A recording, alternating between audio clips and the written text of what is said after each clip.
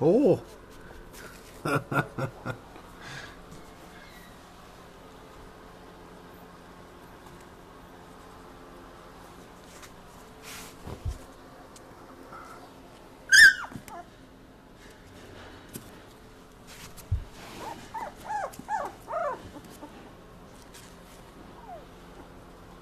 Guys are doing pretty good.